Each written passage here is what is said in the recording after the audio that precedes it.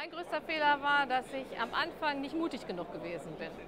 Und ich hätte offensiver das äh, voranbringen können, was ich eigentlich machen wollte.